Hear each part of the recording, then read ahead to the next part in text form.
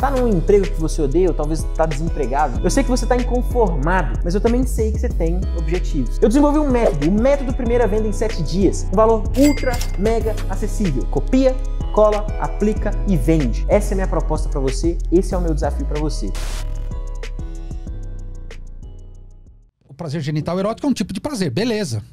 Beleza, sem dúvida. Mas a gente tem outros tipos de prazer. Então Freud chamou de sexual. Então vamos supor, quando a gente, sei lá, coça o ouvido. Ai, que vontade de coçar, coçar esse nariz. Isso é sexual porque você está tendo prazer, né? claro, naquela fração de segundo. Uhum. Então, quando a gente fala de sexual, a gente está falando de algo muito, vamos dizer assim, muito individualizado, muito eu. Puta, que prazer que eu tenho com isso. Beleza, agora o fetiche, eu não penso assim. Pelo contrário, o Freud destinava até um lugar até relativamente menor para o fetiche. Que seria o quê? Fetiche vem da palavra, né, da origem etimológica de feitiço. Hum. Olha, então estou enfeitiçado.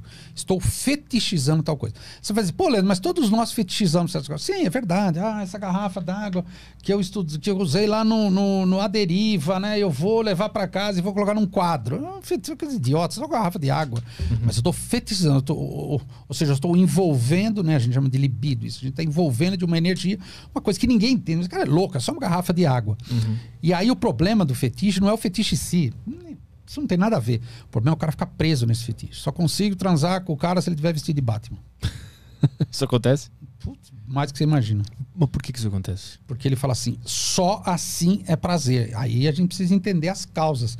Da onde que vem isso tal. Aí o cara fica, ah, é isso, o couro, não sei o que lá. Aí ele precisa encontrar um parceiro, uma parceira que tope. E às vezes não conta. Por isso que as pessoas só encontram, às vezes, no gueto, né? Nas pessoas meio iguais. Ah, eu também, ah, eu adoro esse negócio de Batman. Que legal, eu me visto de Batman. Beleza, então. Mas fica mais difícil, né?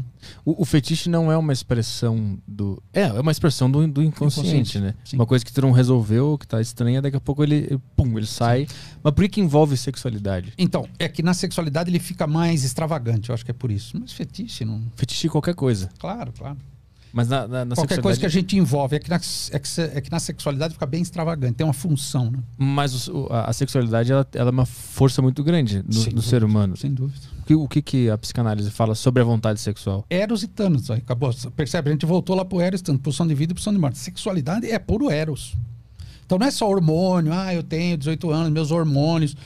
É um detalhe, isso não, não é isso. É o nosso desejo, a nossa verdade, a nossa fantasia.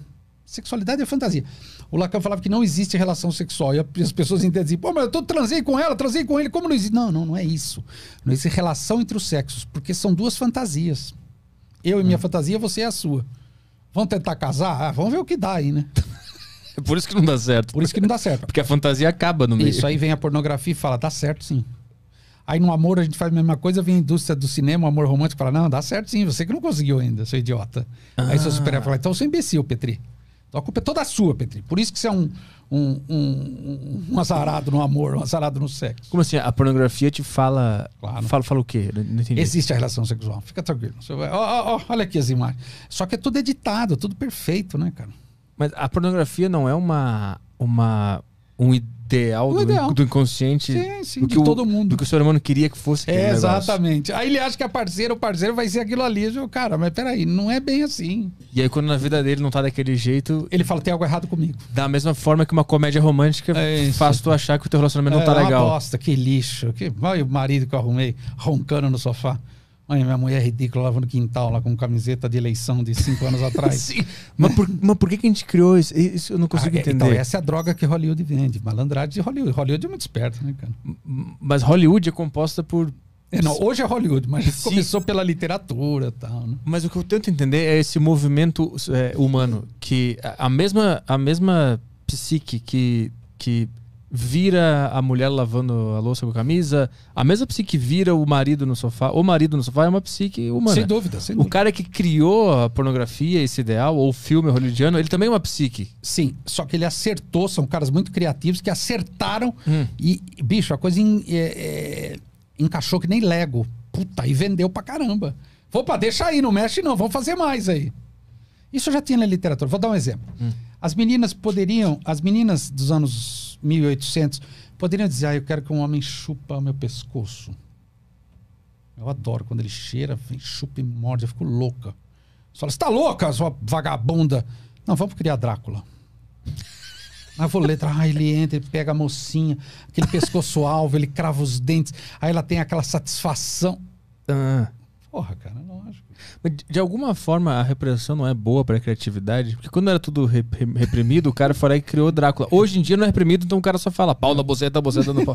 Não é? Chico Buarque, existiria Chico Buarque sem a ditadura? Então, É isso, né? Então, mas será que hoje não tem repressão, cara?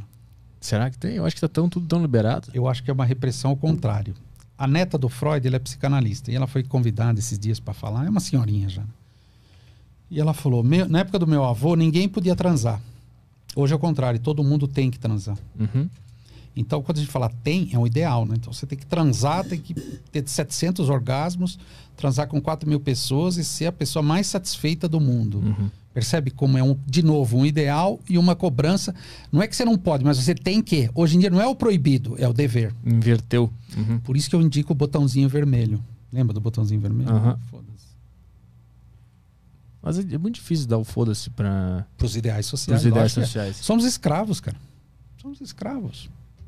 Qu- Qual seria a, a vida ideal pra gente conseguir se desprender dessas ideias sociais? Viver no campo, sozinho? É, e que é impossível também, né? Como é que a gente faz para estabelecer outra relação com esses ideais? Como é que a gente faz para ser mais razoável? Cara, é uma luta, não é, não é fácil, não.